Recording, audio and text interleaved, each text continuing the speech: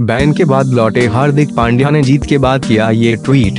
कप्तान विराट कोहली विराट कोहली के नेतृत्व में एक और संतुलित हरफनौला प्रदर्शन के दम पर भारत ने माउंट माउंट गानुई में खेले गए तीसरे वनडे मैच में New Zealand, India vs New Zealand को सात विकेट से हरा दिया।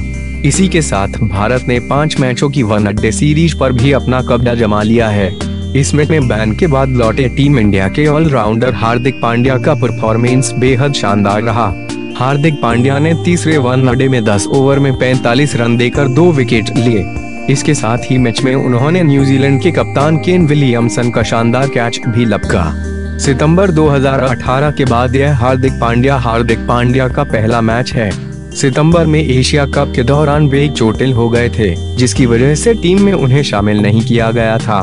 ऑस्ट्रेलिया के खिलाफ सीरीज़ से पहले उन्होंने कॉफ़ी विदकरण में महिलाओं के लिए कुछ अमर्यादित टिप्पणी की थी, जिसके बाद उन पर बैन लगा दिया गया था।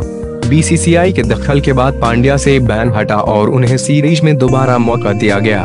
मैच में हार्दिक पांड्या के परफॉर्मेंस की जमकर तारीफ़ हो रही है। मैच और सीरीज़ जीतने के बाद हार्दिक पांड्या अपने ऑफिशियल ट्विटर हैंडल से एक ट्वीट किया।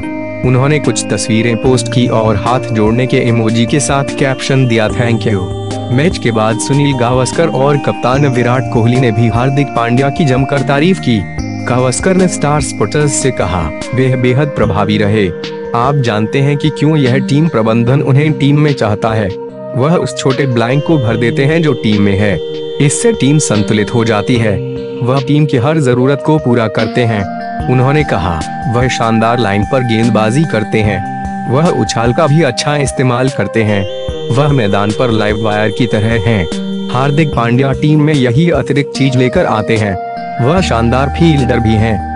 वह आपके लिए असंभव कैच भी पकड़ सकते हैं।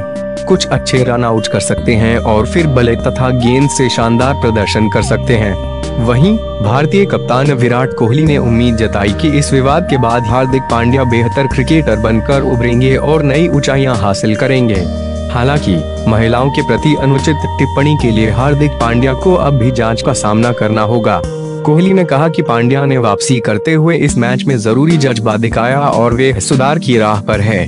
उन्होंने कहा, आपको कुछ अतिरिक्त करने की ज़रूरत नहीं है। पांड्या जैसी स्थिति में जो भी इसमें से सकारात्मकता के साथ निकलेगा, वह अपने करियर में नई ऊंचाइयाँ हासिल कर सकता है, जैसा कि अतीत में हमने कई क्रिकेटरों के साथ देखा।